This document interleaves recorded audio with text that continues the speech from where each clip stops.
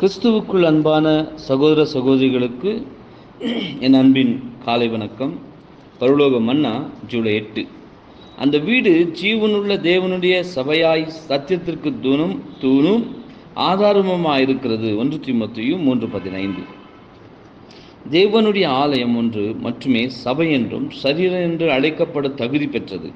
இது உலகத்தின் பார்வையில் முக்கியமானதாகவும் ஆடம்பரம் உள்ளதாகவும் காணப்படாமல் மிக எளிமையான எளிமையாக இருப்பதனால் உலகத்தாரால் அங்கீகரிக்கப்படாமலும் அங்கீகரிக்கப்படக்கூடாததுமாக இருக்கிறது. இது மனிதனால் உண்டானதும் இல்லை மனிதனால் ஆட்சி செய்யப்படுவதும் இல்லை.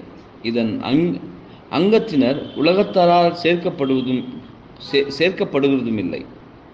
பரலோகத்தின் மூலம் செயல்படுத்தப்படுகிறது. மேலும் அப்போஸ்தலன் கூறுவது போல பரலோகத்தில் பேரெழுதப்பட சர்வ சங்கத்தார் ஆவார்.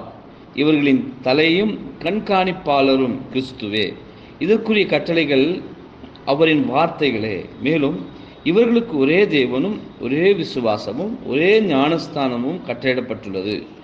சில தீர்க்கதரிசிகள் என்பவர்களின் பேரில் சபை கட்டப்பட்டு இயேசுவே இதற்கு மூளைக்கல்லாக இருக்கிறார். எபிரேயர் மூன்று மூன்று என்பதே. ஆமே